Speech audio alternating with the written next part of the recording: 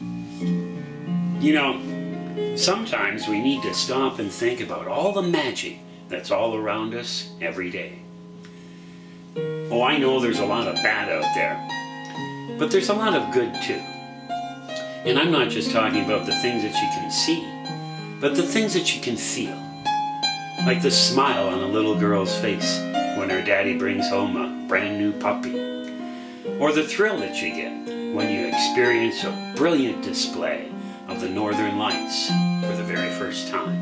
And then there's the magic, the magic of relationships, or lack thereof.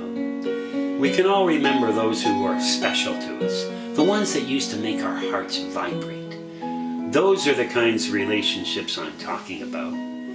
The ones you remember so fondly, they'll live on in your hearts forever. They're like a seed.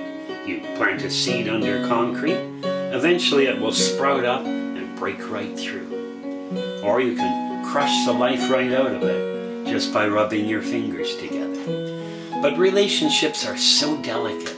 They're as delicate as a piece of thread. And they're often just as easily broken, too. I used to demand things like great beauty. You won't let me find out who I really am, I said. You're intellectually dull and your cooking's mundane, she said.